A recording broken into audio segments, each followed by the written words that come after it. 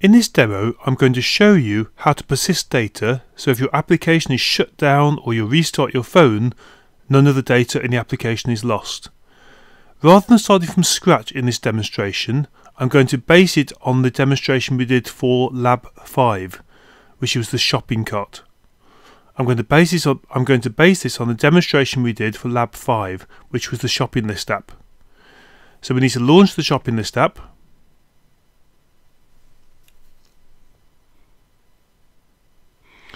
and I'm going to add some private methods. So I'm going to find my homeview controller.m file and I'm going to add a string property for the path to my plist file and I'm going to add an ns and I'm going to add I'm going to add an ns mutable dictionary to hold the plist once it's been loaded.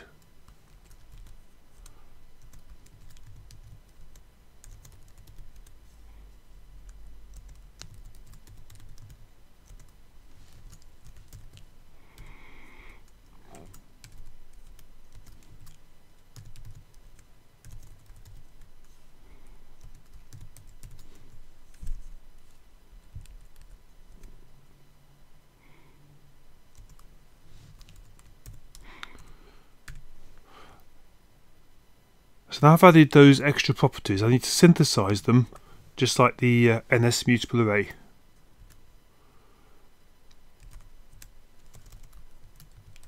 To create to create our private instance variables.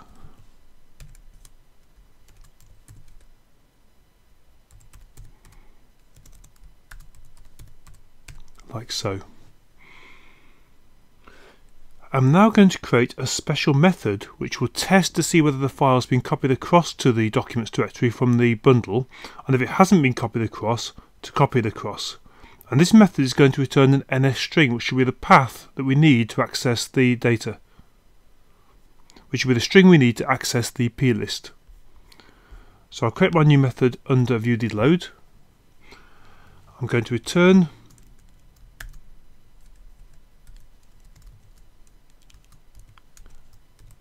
then the string star. And I'll call this method path by copying file which is what it does. And the, the file name is going to be the parameter. So ns string star uh, file name.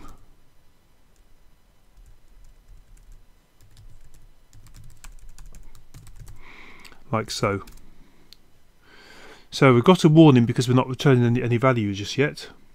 So what we're going to do now is I'm going to take the file name and split it into the file name and the extension because we need that when we access the file in the bundle.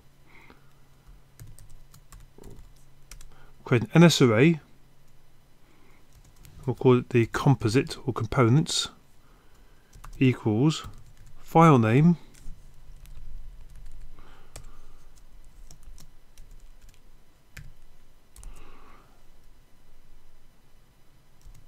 components separated by string and the string is going to be the period, the full stop. So now I have an NS array which contains both the file name and the file extension.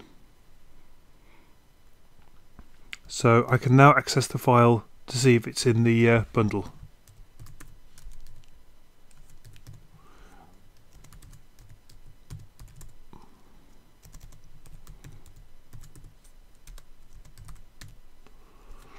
So there's my pointer to my main bundle.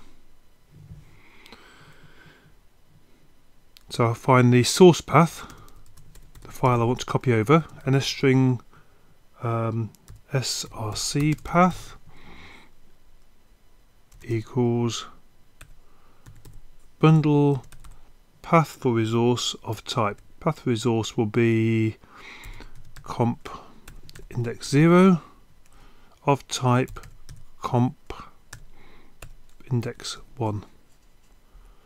So now I've got a pointer, a string, which points to the resource in the application bundle. Now I need to access the documents directory. So I need an NS file manager.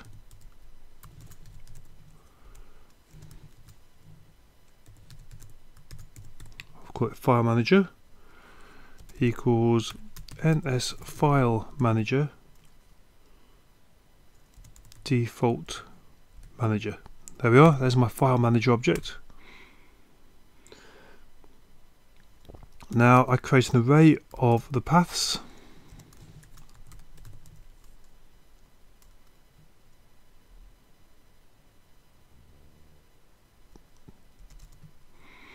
is ns search path for directories and domains. There it is. The domains directory is ns documents ns document directory. The search domain mask is going to be ns user domain mask.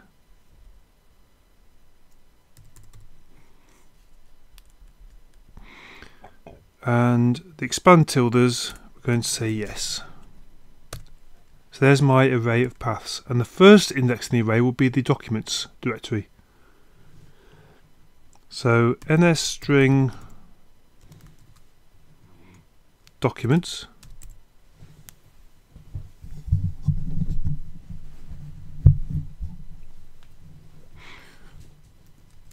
ns string documents equals paths object at index 0. So I've now got a string to my documents directory.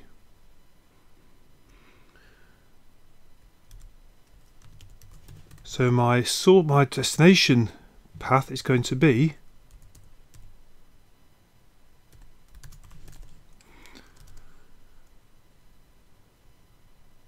documents. String by appending string. No, string by appending path component.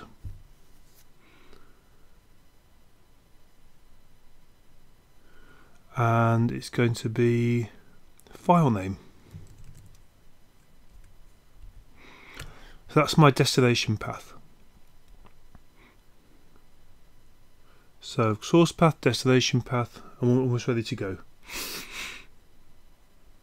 So now I need to check to see if the data is being passed across. So, now I need to check to see if the file has already been copied over to the documents directory, if it already exists.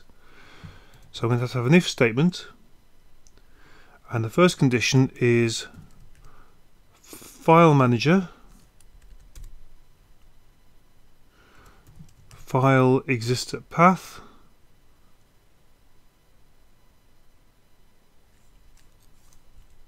Don't need the rest of it.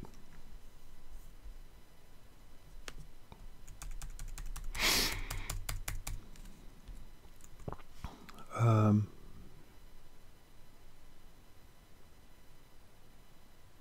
so it's the destination path. So if it doesn't exist in the destination path and the source path is not equal to nil, in other words the file is there ready to be copied, we can copy it over. So we need to create an NS error object and then we need to copy the file over. File manager, copy item at path source path, to path, dest path, error, error. And that's copied the file over. And finally, I want to return the destination path because I need to store it somewhere safe. Return dest path.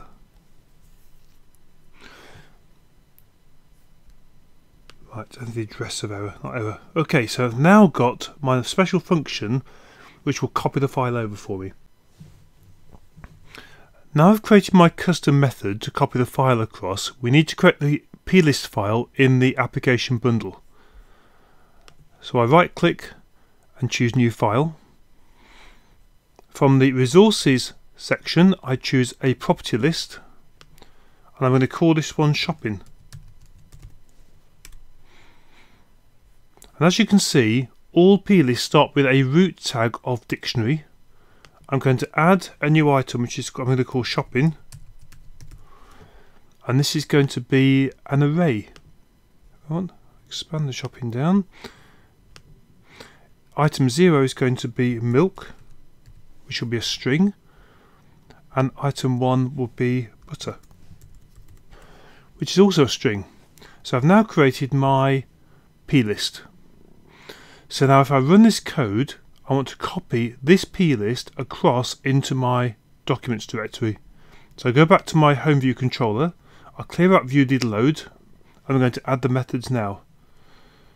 So first of all I'm going to say self dot path equals self path by copying file and the file name is shopping.plist and if I log that I should get the path to my file so nslog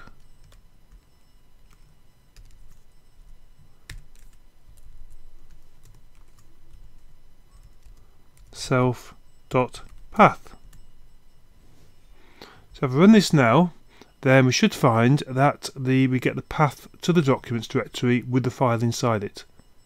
So it now runs, and if I look at my log, you can see there's my path to my shopping.plist file. If I take the path without the plist, copy it, and in Finder go to View, go to Folder, I paste that in, click on OK, and you can see that the plist file has indeed been copied over. So I'm going to try again, I'll delete it, leave the window open, run my application again, return to the folder, and you can see it's copied it across again. But if I now run it again, it shouldn't copy the cross because it's already there. And there we are. So that bit now works. I've now got to load that plist into my NS Mutable dictionary. So I can say self dot the dictionary was called data. I've got to allocate it with the contents of the file. So NS mutable dictionary alloc init with contents of file and the file is self dot path. So I've now copied the entire contents of the plist into that mutable dictionary. So let's test it. Always good to test things as you go along.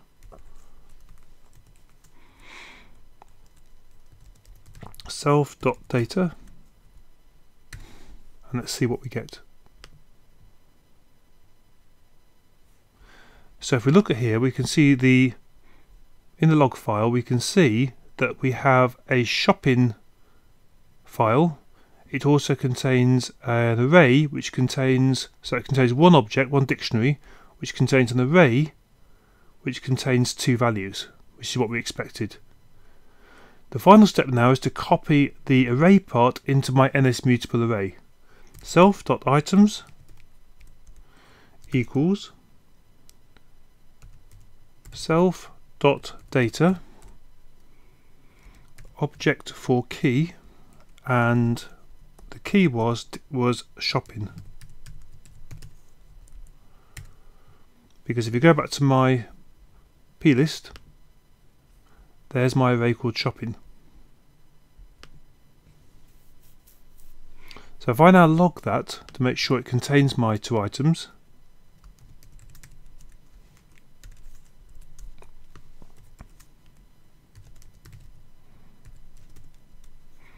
we should see the two items in the log file.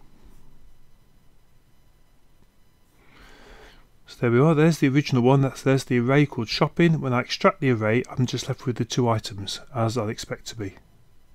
and as you can see it's already added them to my list. Now this self.data object for key creates a pointer to the array that's already inside the mutable dictionary. So when we save the dictionary, it will already have the updated values. Here we are. So self.items add in add object message text. So what we'll do here is we'll save it back to the p list. So every time we add a new item, it should save to the p list. So self.data write to file and the file is self.path atomically yes and that should save the data back to the plist. So let's test this.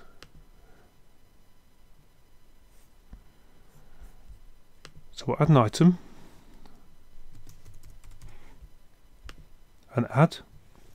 And now if I go back to my finder and I double click you'll see the shopping has three items milk, butter and bread. And we can repeat the same process for removing and for reordering so let's do this so we'll take that um, line of code that's all we need to save the changes and let's do the deleting okay self remove object to index path then we delete it from there then we'll save it back to the plist. And then reordering, that reorders them. And that saves them back to the plist. So now it should work. So if we run it again, you can see it's remembered bread from last time. If I reorder this and put bread at the top, click on done, and I double click on the P list, there's still three items and bread is now at the top of the list.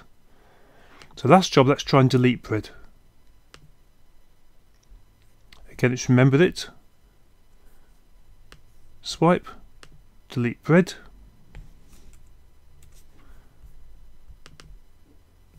And you can see there's two items and bread has disappeared. So I've now shown you how you can create a persistent data set for your application data. So if your application shuts down or crashes or you restart your phone, then the data will be preserved.